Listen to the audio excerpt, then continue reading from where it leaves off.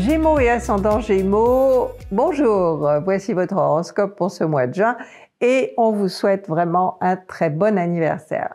Le soleil occupe euh, le deuxième décan puis le troisième décan de votre signe et euh, bien évidemment il, euh, il vous donne la priorité. Vous êtes en vedette, on vous... comment dire, euh, ben, on vous fait la fête hein, obligatoirement. Donc il, peut y avoir une ambiance assez euh, joyeuse, pétillante. vous serez encore plus drôle que d'habitude. Vous vous montrerez le, le côté vraiment comment dire amuseur, hein, comique humoriste euh, qu'a toujours euh, le Gémeaux. C'est vraiment, euh, ça fait partie de vous, cette façon toujours d'être observateur, de voir les petits travers des autres et, et d'en rire et de faire rire les autres également. Après le 21, eh bien, le soleil vous quitte il rentre en cancer, donc votre voisin qui gère votre argent. Alors bon, on sait hein, combien le cancer peut avoir des hauts et des bas. Et du côté de l'argent, vous avez aussi souvent des hauts et des bas, ça rentre, ça sort. On, dirait qu'il vous passe sous le nez d'une certaine manière, et ce sera peut-être le cas pendant quelques jours. Hein. vous allez, euh, ça va rentrer et vous allez dépenser. Du côté des activités, euh, eh bien Mars est bien placée pour vous. Elle est en Lion, hein. euh, donc dans un secteur euh, d'action, de communication aussi, de petits déplacements, de rendez-vous, contacts, tout ça, disons, va être fait très rapidement. Vous allez être pressé.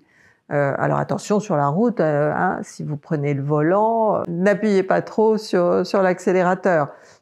Mais bon, c'est vrai que vous allez être pressé, impatient, un petit peu nerveux pendant toute cette période où Mars va être en Lion et euh, nous verrons tout à l'heure qu'il va être rejoint par Vénus, ça va peut-être euh, un petit peu vous, vous calmer. Toujours est-il que si vous voulez entreprendre quelque chose, euh, bon, Mars y est favorable. Il faut que vous utilisiez en fait les énergies de Mars qui sont très fortes parce qu'elle se trouve dans un signe de feu et que c'est une planète de feu. Donc euh, bon, hein, les énergies euh, sont euh, plus importantes que lorsque Mars était en cancer dans un signe d'eau. en conséquence, vraiment, je vous conseille de, faire attention, de bien canaliser vos énergies.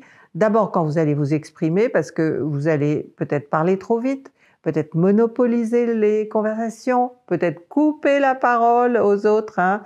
Quand Mars va être euh, en dissonance avec Uranus, vous aurez vraiment tendance à, à, vouloir prendre la parole, hein, la, la, la, la, voler euh, aux autres, et bon, ça peut peut-être dégénérer en, conflit. Hein. Donc euh, faites attention, surtout avec vos proches, avec votre entourage proche, avec les autres, euh, bon, les personnes que vous ne connaissez pas ou euh, voilà, voilà, bon, ce sera moins, ça aura moins d'importance qu'avec vos proches.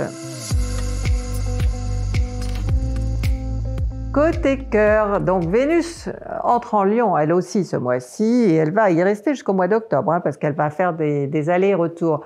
Euh, à un moment, euh, elle est même pas à un moment, elle va tout de suite être euh, plus ou moins en conjonction avec Mars. Donc, si vous voulez, vous allez certainement avoir un coup de cœur pour quelqu'un.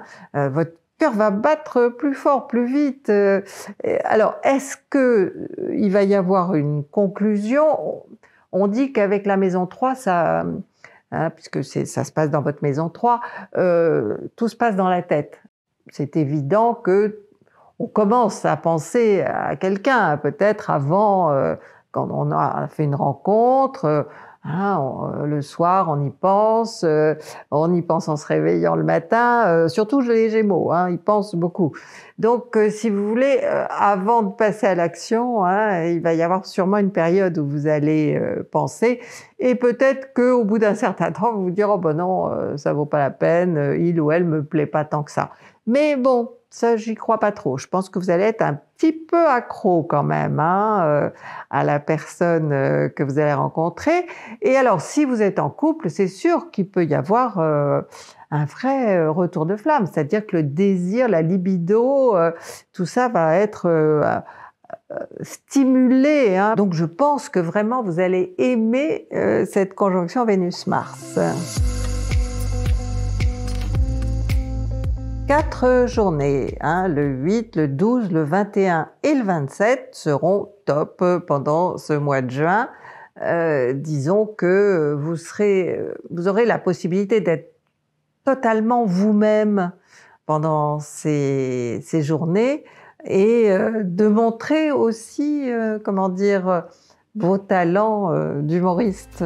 J'espère que vous allez passer un bon mois de juin. D'ici là, vous le savez, vous avez nos réseaux sociaux, le site celastro.com, le live du mardi soir et bien entendu les consultations avec Zoé ou avec moi. À très vite